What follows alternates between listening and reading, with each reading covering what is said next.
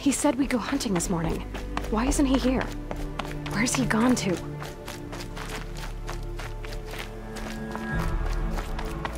What's he doing up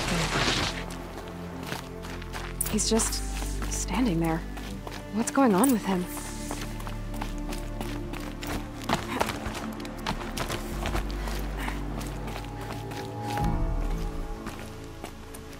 Aloy, Did you want to be alone? No. We must speak.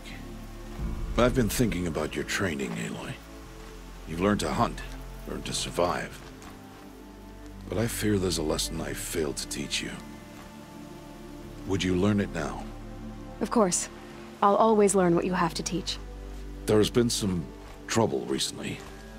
It affords an opportunity to learn this lesson, but it will be dangerous.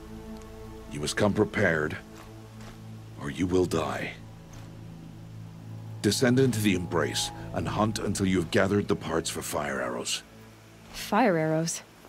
What kind of trouble are we talking about? Once you have the parts, you will meet me there, at the gate beyond the village of Mother's Heart. Uh, the North Gate? At the edge of the Embrace? Yes. Now be on your way.